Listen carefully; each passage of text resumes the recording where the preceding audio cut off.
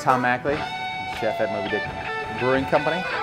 When I came out here a year ago, I went on a road trip and so many of the breweries were serving the same type of food. You didn't see a whole lot of the local flavor on the menu. If we're starting this brew pub in New Bedford, and the idea is that we're creating jobs in New Bedford, we're creating a, a cool gathering place for people, the local people, um, that we should try to feature some of the local foods from the fishermen, from the different producers, because the ultimate goal is to kind of support New Bedford from the coffee that we serve, which is roasted locally, to the, um, the fish that we get, which is caught right down out in the, in the local waters.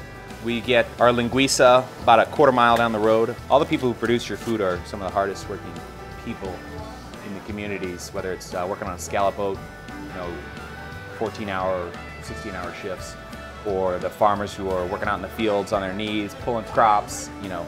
We get the easy part in being chefs because all the work, the hard work's done for us. Difficult part is getting all of these people's food on our menu. Part of the reason why we're doing a, a menu that changes often is so that we can always be able to accommodate those new items. If we're buying from the small farmers, they're able to expand their properties, maybe put in some fun new crops for us. A lot of them have been really cool about being approachable about that sort of thing. So I could ask them for a certain varietal of, of pepper or tomatoes, and they've been super willing to do that. It's a very difficult job and underappreciated. It's obviously a very important job in this uh, community and in this time to produce the food that we eat on a daily basis.